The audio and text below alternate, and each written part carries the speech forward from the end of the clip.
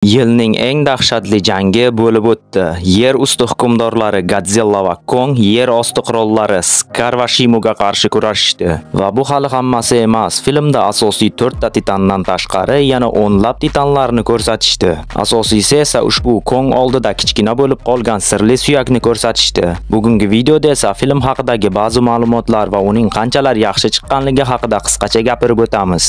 Oldindan ogohlantiraman, videoda spoilerlar mavjud. Agar filmni hali ko'rmagan bo'lsangiz, videoni ko'rishni maslahat bermayman. Filmni kinoteatrlarga borib, bemalol ko'rishingiz mumkin. Agar borishning iloji bo'lmasa, TC, ya'ni kinoteatrdan yozib olingan xira formatini Telegram kanalimizdan topishingiz mumkin. Kanal manzili video ostida. Qani unda ekranni katta qilib oling. Bugungi roligimiz boshlandi.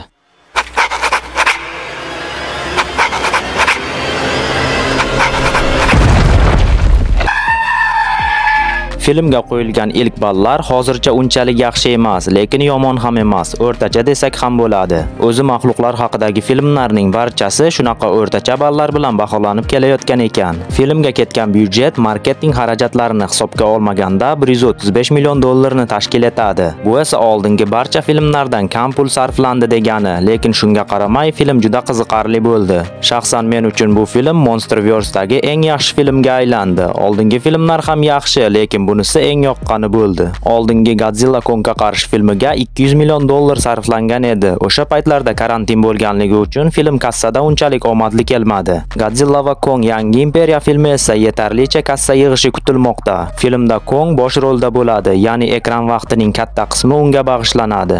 U Godzilla Kongga qarshi filmidan so'ng yer ostini chuqurroq o'rganish uchun u yerga yana qaytadi va anchagina sirlarni ham bilib oladi. Filmda Kong, Godzilla, Scar va Shimudan tashqari yana 10 dan ortiq titanlarni ham ko'rsatishdi. Shuningdek, biz Titan Shimuni nimalar qila olishini ham bilib oldik. Uning muzli nafasi hatto Godzillani ham muzlatib qo'yishga yetar ekan. Yer ostidagi janglardan birida u bu ishni qildi, lekin o'rtaga qirolicha Motra kelib xalaqit berganligi uchun Godzilla muzdan ozod bo'ldi. Shimu kutganimizdek Godzilladan katta ekan, lekin Godzillaning o'zi ham bu filmda anchagina bahaybatlashgan. Uning oldingi filmdagi bo'yi 120 metr edi. Bu filmda esa taxminan 130-140 metrlar atrofida. Godzilla oldingi filmga qaraganda bir necha marotaba kuchaydi va xavfliroq ham bo'ldi. Uning yangi energiyasi esa Titan Tiamatni o'ldirgach paydo bo'ldi. Ha, filmda Godzilla va Tiamat o'rtasida dahshatli qarama-qarshilik guvohi bo'ldik. Shundan so'ng esa Godzilla yangi ko'rinishga kirdi. Eng asosiysi esa u Titan Stillani 20 soniyada yo'q qilib yubordi. Bu esa uni yetarlicha kuchli ekanligini ko'rsatadi. Misrda esa biz Godzilla va Kongning oldingi filmda chala qolib ketgan jangini davomini ko'rdik. Bu sahnadan esa Godzilla qanchalar yaxshi kurash tusha olishini ko'rdik. Kong bu safar juda yaxshi jang qildi, lekin baribir maxluqlar qiroli yana g'alaba qozondi. Filmda yana qirol Skarning xarakterini juda zo'r ochib berishgan. U maqtanchoq, o'ziga ishongan va o'zini yer osti qiroli deb hisoblaydi. Kong bilan jangida esa ancha mahoratli jangchi ekanligini ko'rdik, lekin baribir Kong Skardan ustun keldi. Skar esa Shimudan yordam oldi. Shimu aslida yovuz titan emas, uni shunchaki Skar ushbu kristal yordamida boshqarmoqda. Shimu Skarning boshqaruvidan chiqib ketmasligi uchun esa kristalni tez-tez ishlatib turish kerak bo'ladi.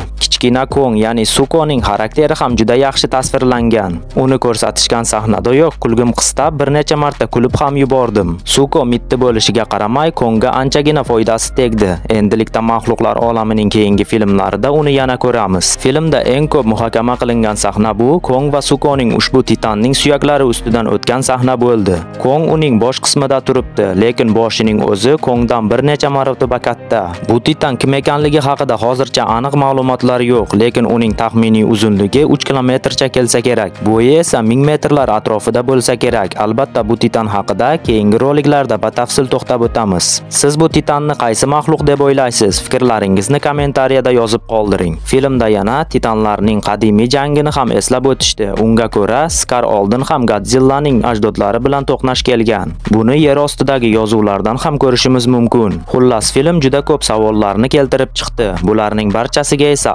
alohida videoda javob berib o'taman. Bu videoda esa filmni shunchaki ko'rib chiqdik. Video oxirida shu savolni bermoqchiman. Maxluqlar olamidagi eng yoqtirgan filmingiz qaysi? Men uchun ushbu Godzilla va Kong yangi imperiya filmi. Siz o'z yoqtirgan filmingizni kommentariyada yozib qoldiring. Video yoqqan bo'lsa albatta like bosib, kanalga ham obuna bo'lib qo'ying. Keyingi qiziqarli roliklarda ko'rishguncha sog' bo'ling, salomat bo'ling.